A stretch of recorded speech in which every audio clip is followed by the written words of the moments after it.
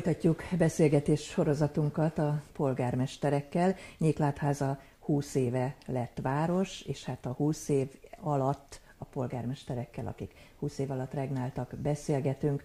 Második beszélgető társam Urbán Sándorné Margó, és a nézők valóban valószínű megbocsátják, hogy tegeződünk, hiszen régóta ismerjük egymást. 2010-ben ti többen indultatok a polgármesteri székért, és a választást megnyerted.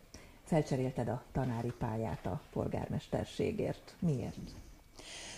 34 évig dolgoztam itt az általános iskolában matematika-kémia szakos tanárként, az utolsó négy évben pedig alpolgármesterként próbáltam segíteni az előző polgármester úr munkáját, aki inspirálta arra, hogy gondolkozzak el azon, hogy talán folytatása lehetnék az ő munkájának, vagy folytatni tudnám. És akkor én jelentkeztem a svéd, vagy a norvég alapú polgármester akadémiára, és két év alatt megtanultam azokat a fortéjokat, amit itt a gyakorlatban nem sikerült elsajátítani, és úgy gondoltam, hogy megpróbálom.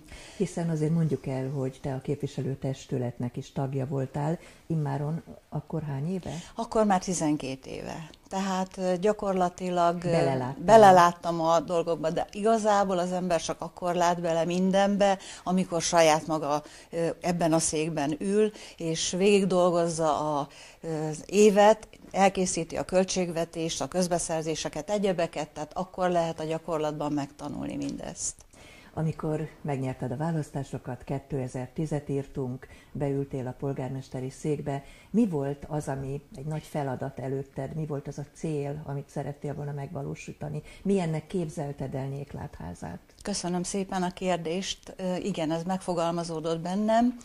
A legnehezebb időszakot éltük. Túl voltunk a világválságon. A legtöbb önkormányzat adósságállományt halmazott fel Igazából a legnagyobb feladat az volt, hogy megpróbáljunk egyensúlyba hozni költségvetésileg a települést, tehát ne legyünk minuszosak. Ehhez nagyon sok munkát kellett végeznünk, és kitűztük azt a célt, igyekszünk a megszorítások mellett a bevételeket növelni, és a kiadásokat csökkenteni. Erre nagyon jó segítő társakat kaptam itt a hivatalban, akikre lehetett támaszkodni. És sikerült úgy indítani az évet, hogy nem kerültünk adósságcsapdába.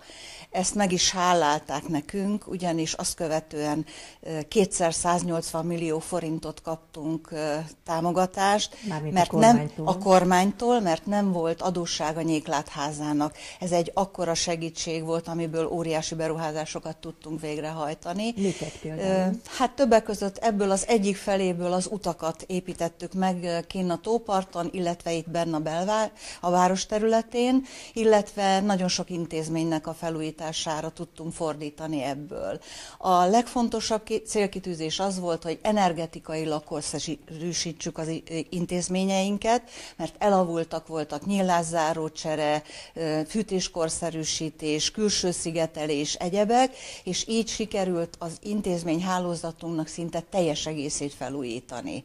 Csak nagyon néhányat hagy említsek meg, ez a polgármesteri hivatal is ezekből az összegekből, meg pályázati pénzekből újult meg. A napközi konyha, az iskola épülete, a művelődési ház, az orvosi rendelő, a közbiztonsági centrum, a gondozási központ, az óvoda nem csak felújult, hanem ki is bővült két csoportnak megfelelő helyiséggel és tornaszobával, tehát felsorolni sem tudom, hogy mennyi mindent tudtunk megvalósítani, de ehhez természetesen rengeteg pályázatot írtunk, és abból nagyon sokat megnyertünk. Ez úgy gondolom, hogy indulásnak nagyon jól jött. Nyéklátházán te voltál az első női polgármester.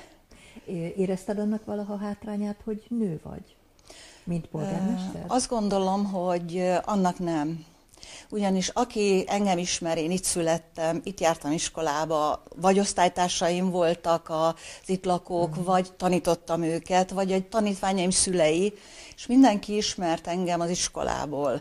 Mm. Nem vagyok egy lágy női alkat, elég határozott vagyok és kemény, ha munkáról van szó. Én azt gondolom, hogy engem így ismertek meg a településen, és hát gondolom nem csalódtak bennem akkor sem, mikor polgármester voltam. Tehát kemény hát kézzel Polgármesternek vittem. kell, és hogy azért egy kicsit kemény legyen, hogy úgy mondjam. Időnként igen. Volt ez alatt a hét évig voltál polgármester, igen. ugye? Ez alatt a hét év alatt valami nehézség, ami, ami úgy igazán azt mondott, hogy fú, ez, ez nagy munka volt.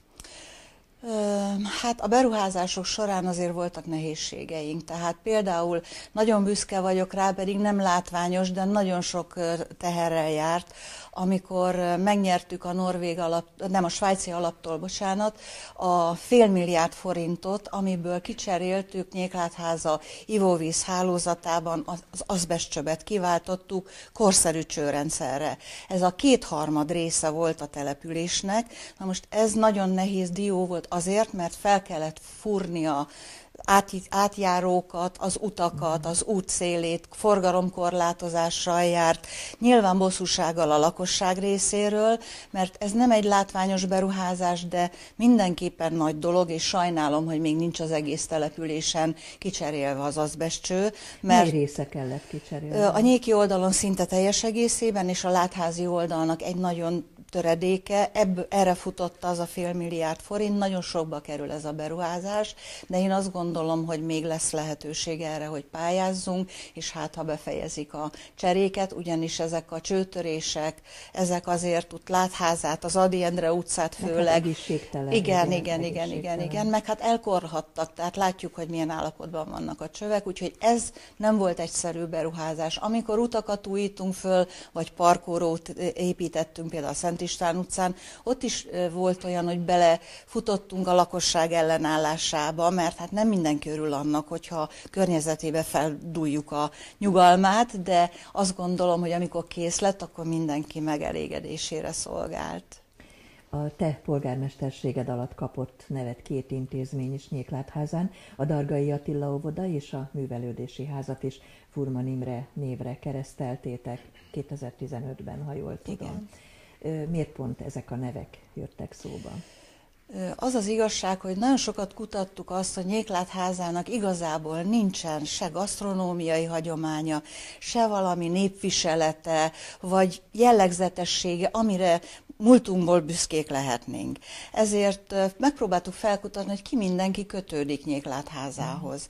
És akkor jöttünk arra rá, hogy talán azokat az embereket kell megkeresnünk, akik emberileg vagy itt születtek, vagy itt tettek valamit a városért, és ő rájuk tudunk igazából hagyatkozni, hogy őrizzük a hagyományainkat, így a Lent családnak a hagyományait próbáljuk megőrizni a templomépítőinknek, akkor azt gondoltuk, hogy Dargai Attila, ha itt született mezőnyéken, akkor vegyük föl a kapcsolatot az özvegyével, és biztos nagyon fog örülni, hogyha elnevezzük az óvodát a férjéről, és nagyon-nagyon boldog volt, és Irénke néni azóta is kijár az, kijár az óvodába, és aktív részese Nyéklátháza életének, ennek, úgyhogy ez egy hihetetlen jó választás volt, illetve Furman Imre pedig, aki hát majdnem egy idős velem, itt jártunk együtt iskolába, hát ő pedig már sajnos már nem él, és akkor, amikor szóba került, hogy a művelődési házat felújítottuk, és el kellene nevezni, a lehető legjobb ötlet volt, ő ott a közelében született annak a művelődési háznak, és hát büszkék vagyunk rá tulajdonképpen, és azóta is Pankocsi Mártával tartjuk a kapcsolatot, aki nagyon hálás azért, hogy megörökítettük, az, vagy meghagyjuk az utókornak az ő férje nevét, és jelen van az életünkben. Úgyhogy ez inspirált minket erre. Mire vagy a legbüszkébb az elmúlt hét évből? Igazából nagyon sok mindenre. Tehát ha végigmegyek a településen, és látom, hogy milyen szépek a köztereink, hogy milyen szép emlékműveink vannak, a Szent István szobortól a 56-os emlékművön keresztül a parkok, a virágok, a zászlópark, ami a nemzetközi kapcsolatainkat próbálja meg megörökíteni, vagy elmegyek a kerékpárút mellett, ami egy nagy óhaja volt Nyéklátházának, hogy Mái Nyéklátháza között legyen kerékpárút, és sikerült megvalósítani. Tehát, hogy látom a felújult intézményeket, azt gondolom, hogy mind-mind, amit elvégeztünk, az persze nem egyedül tettem, sok-sok segítővel, de mindez nagyon jó érzéssel tölt el. Én azt gondolom, hogy nyomot hagytam a szülővárosomban. Mosolyogva beszélsz most is róla, és olyan, mint aki ilyen ambíciózus még mindig. Ennek ellenére te 2017-ben felálltál, és nem vitted végig a ciklust. Ez publikus, hogy miért? Ö, tulajdonképpen ö, igazából nem akarok igazán belemélyedni ebbe a dologba. Férjem elment nyugdíjba, szerettük volna együtt élvezni a nyugdíjas éveket, ö, elfáradtam. Jobb pihenni otthon most már, átadtam a fiataloknak, dolgozzanak ők, itt hagytam rengeteg megnyert pályázatot, nagyon sok pénzt, ők már építsék tovább nyéklátházát, és én azt gondolom, hogy nekem így nagyon jó, immár öt éve nyugdíjas vagyok, nagyon szépen megtöltjük tartalommal az életünket, végre utazunk, és együtt töltjük, remélem még nagyon sokáig a hátralévő éveket úgy legyen, még egy kicsit kanyarodjunk vissza talán arra, hogy te tulajdonképpen vérbeli pedagógus vagy. A gyerekek nem hiányoztak, amikor átjöttél ide a polgármesteri székbe? De.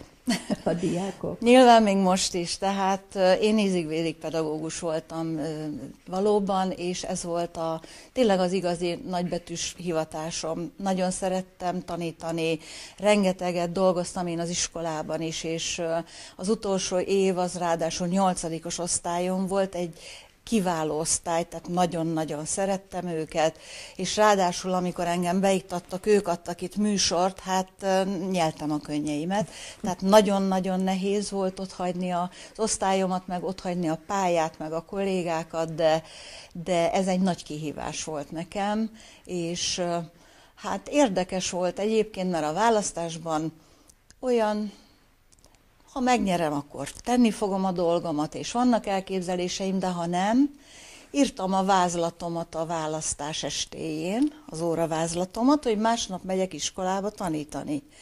Mert kétesélyes. Vagy megyek és tanítok tovább, vagy pedig hát intézem a hogyan továbbot. És hát jött éjszaka a hír, hogy megnyertem a választást. Természetesen kicsit örültem is meg, hát sajnáltam a az ott hagyott pályát, 34 év azért 34 év, és érdekes, hogy most, hogy eltelt ennyi év, a, miután befejeztem a munkámat, most már ismét tanárnőnek szólítanak a lakók, tehát, tehát már most megint tanárnéni vagyok, de jó ez így. De azért a polgármesterséget, ezt a hét évet te sem felejted el, és reméljük, hogy Nyéklátháza lakói sem felejtik el. Köszönjük szépen Urbán Sándorné Margónak a beszélgetést. Én köszönöm a lehetőséget.